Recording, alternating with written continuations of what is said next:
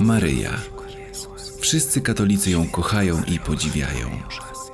Nie tylko uznają jej Boże macierzyństwo, ale przede wszystkim dostrzegają w niej własną matkę.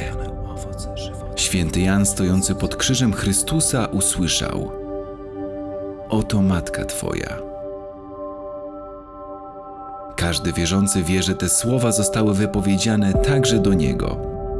Maryja w tym znaku, znaku tego winka, w znaku miłości do każdego z nas, przychodzi jak dobra lekarka, bierze nas w swoje ramiona i pragnie nas uzdrowić. To ona przychodzi.